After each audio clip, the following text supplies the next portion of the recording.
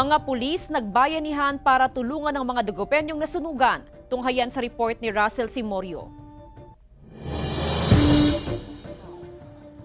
Hawak-hawak na Evelyn ang kanyang dalawang taong gulang na anak para kumuha ng ayuda kabilang ang pamilya ni Evelyn sa daang-daang pamilya na biktima ng sunog sa Arellano Street, Barangay Pantal, Dagupan City noong March 30. Kailangan daw niya ng materyales para makapagpatayo ng bahay. Kailangan din namin yung para may patayo tapos makalipat na rin kami kasi di ba yung mga bata di ba?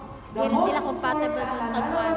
Kasi magdi-distribute din ng LGU ng building materials sa kanila para ma-build ulit yung mga houses nila. Overflowing po ang food, overflowing po ang donations, distributions. Madami tayong mga kapatid dito sa Dagupan. Tiniyak ng otoridad ang pang-araw-araw na supply ng pagkain ng mga biktima ng sunog. Sina mama at aling pulis naman ang nagbigay ng tulong sa mga nasunugan tulad ng bigas, gulay, canned goods at face mask. Bilang pagpapakita ng pagmamahal sa ating mga kababayan.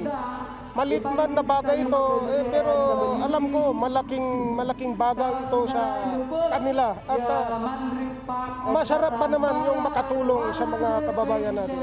Sa kabila ng trahedya, hindi maitago ang tuwa ng mga residente dahil kitang-kita raw nila ang bayanihan ng mga Pilipino kahit may pandemya. Maraming maraming salamat kasi hindi kami pinapabayaan ng mga tumutulong. Lagi silang nandyan. Tapos, lahat ng pangangailangan namin na andyan sila. Kasama si Ron Alistair Tañedo, Russell Simorio, Balitang Amyanan.